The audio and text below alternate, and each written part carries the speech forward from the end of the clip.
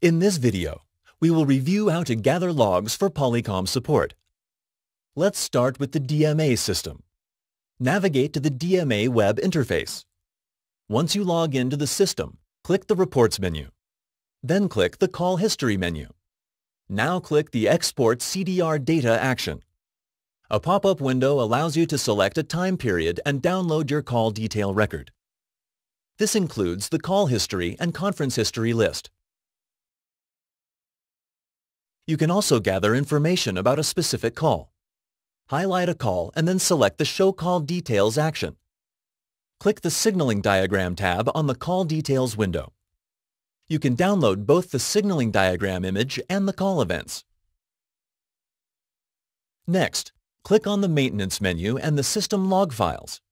You can roll the logs, which will save the current log information since the last save. Also, you can highlight a log and download using the Download Active Logs action on the left side of the interface. The log is saved once a day by default. Now, let's move to the Real Presence Collaboration Server logs. Open the RMX Manager and connect to the RMX. The logger diagnostic files can be found under the Administration menu and then the Tools menu. Click Logger Diagnostic Files and wait for the window to pop up. Click the Browse button to select where you want to save the files. Select the file that you want to save and click the Retrieve Files button. Close the Logger Diagnostic Files window and click the Tool menu again. This time, select the Information Collector menu. The Information Collector will collect all the selected files and allow you to download them together. Select the time frame and then click the Collect Information button.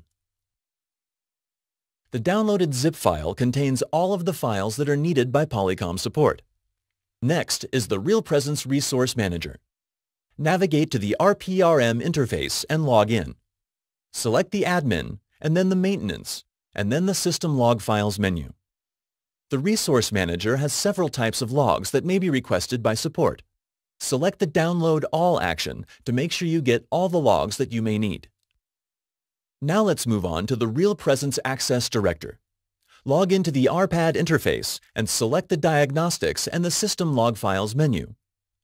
Click one of the log files and select the Download Logs action. Save the log files to your PC. Also, the RPAD is capable of capturing network traffic for troubleshooting. Select the Traffic Capture menu on the left side of the page.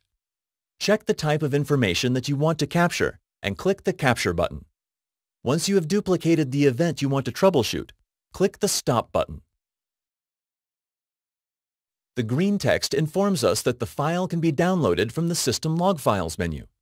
The captured log file has a PCAP extension. Moving on to the Web Suite, log into the MEA or Experience portal as an admin and click the Platform Settings tab. Now select the Logs tab. Click the Download button to save the MEA logs to your PC. Next, log into the WSP or Services portal as an admin user and select the Platform Settings tab.